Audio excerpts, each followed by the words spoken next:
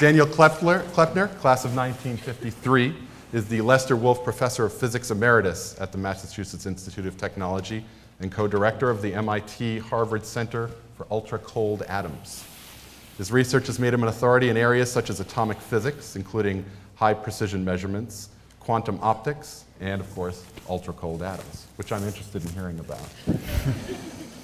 How they differ from cold atoms. Later. Professor Kleppner is a member of the National Academies of Science, the Academy of Science Paris, the American Academy of Arts and Sciences, and the American Philosophical Society. He has received a number of distinguished awards in his field, including prizes from the American Physical Society, the American Association of Physics Teachers, the Optical Society of America, as well as the National Academy of Sciences.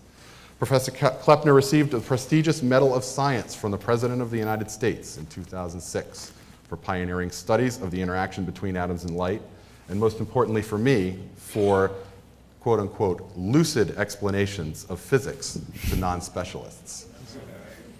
Along with Harvard physicist Norman Ramsey, he developed the hydrogen maser, an atomic clock of great stability used in radio signaling, radio astronomy, and satellite based global positioning systems. He is the author of two textbooks and occasional essays in the magazine Physics Today and he has participated in numerous national studies. I've been asked to talk this afternoon about my experience at Williams, so I'd like to talk now about what happened just after I left Williams, and one aspect of my career as a physicist, which to me is sort of a parable of science. Um, I went to Cambridge University before starting graduate work at Harvard University. At Cambridge University, we have a tutorial system where you meet each week with a tutor.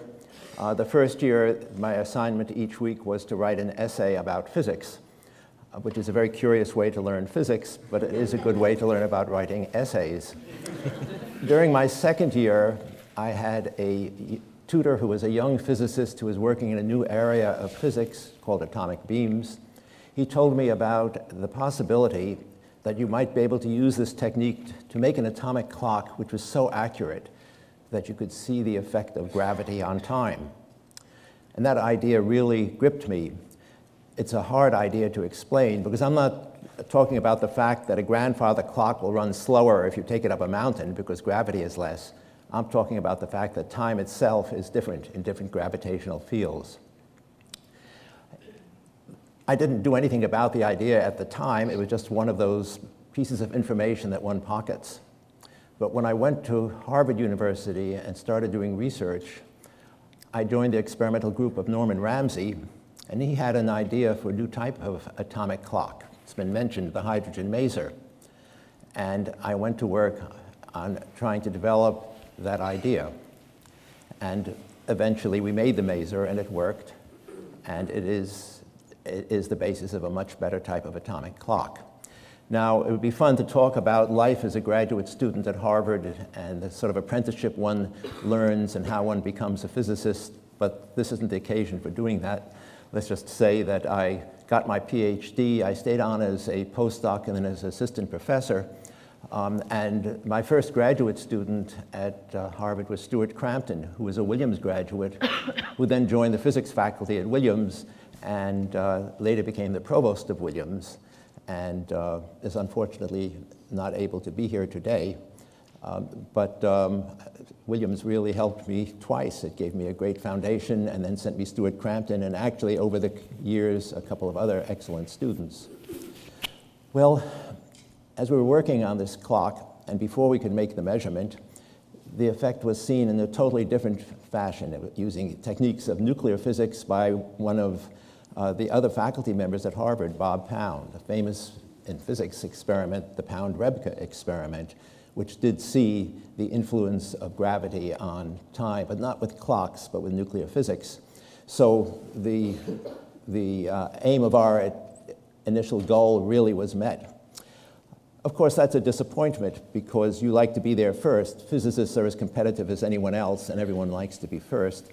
On the other hand, this was a marvelous experiment the results were as expected. This is a confirmatory experiment.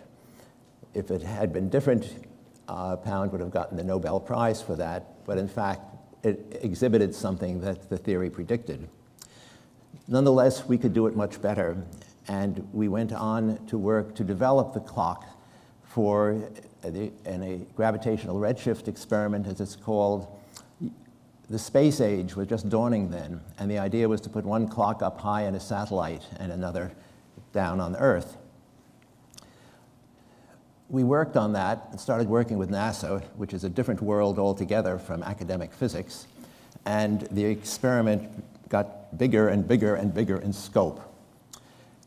We realized there was something seriously wrong when NASA insisted that the astronauts play a role in taking the data on the experiment.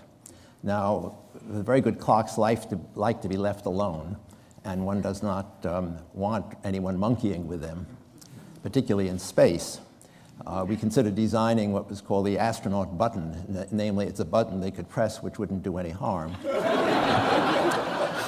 but um, Norman Ramsey and I, I eventually withdrew from the experiment. I realized I was going to have to be spending the next five years of my life uh, working on this experiment to meet the, the, NASA's very rigorous requirements for engineering and such, um, but that the experiment just wasn't worth that much.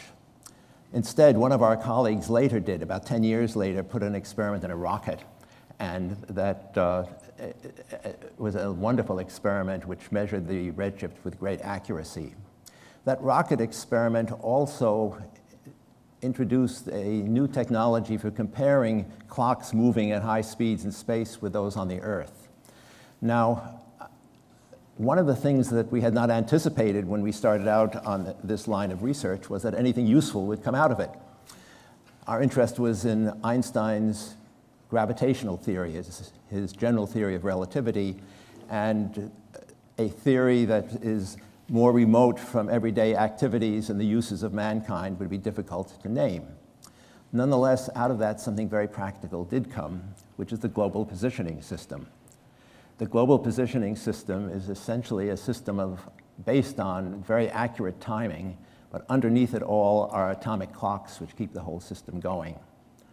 Now, we didn't anticipate the global positioning system. Nobody did when we started to work.